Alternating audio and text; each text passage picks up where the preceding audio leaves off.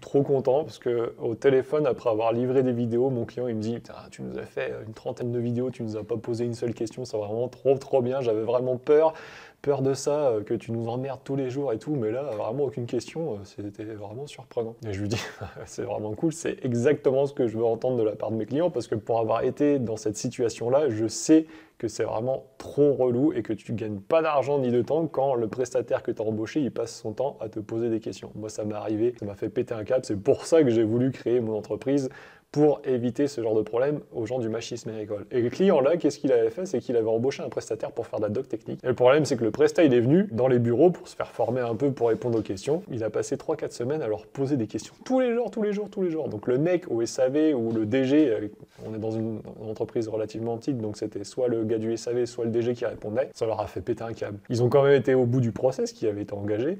Mais à la fin, quand ils ont voilà, terminé la doc technique et qu'ils l'ont reçu, ils étaient vraiment un peu dégoûtés parce qu'ils avaient eu l'impression de payer pour un truc que finalement ils avaient fait eux-mêmes. Et euh, bah voilà, ils ne referont plus appel à ce prestataire, c'est sûr, parce qu'il ne leur a livré aucune valeur. Et ça, c'est vraiment un des gros problèmes qu'on trouve dans le machisme à l'école.